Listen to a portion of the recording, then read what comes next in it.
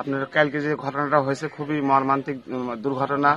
Just আপনার হলে গিয়ে সংঘবদ্ধ হয়ে এসে অতর্কিত ভাবে হামলা চালায়। চালানোর পর আপনার আমার বড় ভাই আত্মাপ জাকাতি মারা আর কালাম ভাই যুবলীগের সেক্রেটারি উনি হলে গিয়ে রাজশাহী মেডিকেলে আছে। এখন এই হলো অবস্থা। কি দিয়ে মারছে? আপনার হলে গিয়ে এলো পাতারি ভাবে কোবাছে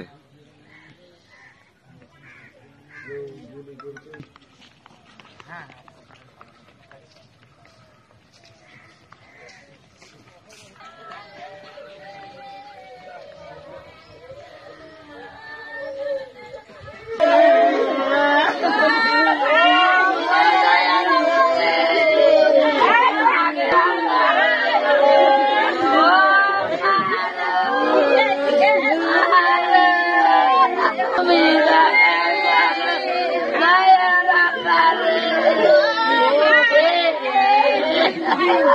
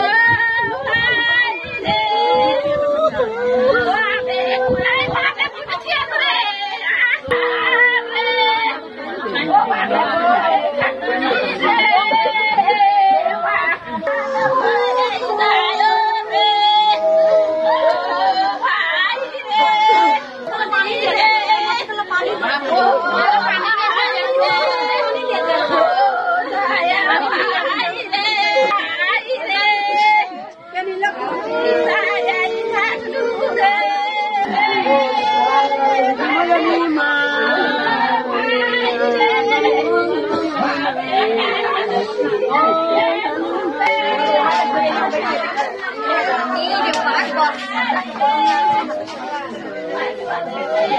বলেন।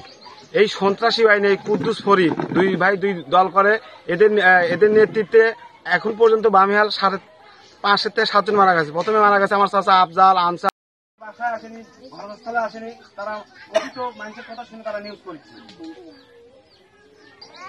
হ্যাঁ นะครั